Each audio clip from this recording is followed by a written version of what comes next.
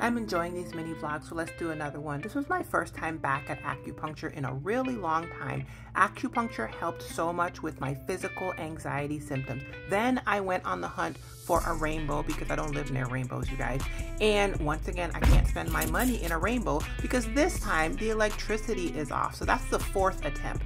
Now I'm at Smoking Barrels Barbecue. I'm working my way through these barbecue joints that I saw in the St. Louis magazine.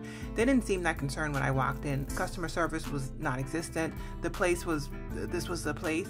But real talk, the food was amazing. I'm telling you guys that now because uh, my shot later of the food, uh, I can't find it. Anyway, here I am again at another rainbow. I am determined. This is attempt number five to use this rainbow gift card, but y'all, rainbow is gonna have to keep my money because there is nothing in there that I can elevate. I got so many compliments on my Free People romper, but the way that all I saw was neck tattoos, thick eyelash um, extensions, and poorly made clothes, I, I just cannot. Anyway, it was time to go get the school supplies for the kid, and I was on some F these kids because look at this Sisters of the Sea pencil case.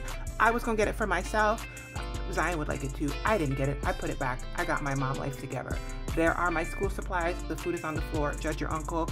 And now it is time to make my way back to the house. She's back at home and she found her filter. Still hasn't finished up the painting. And like I said, I thought I had video of the food.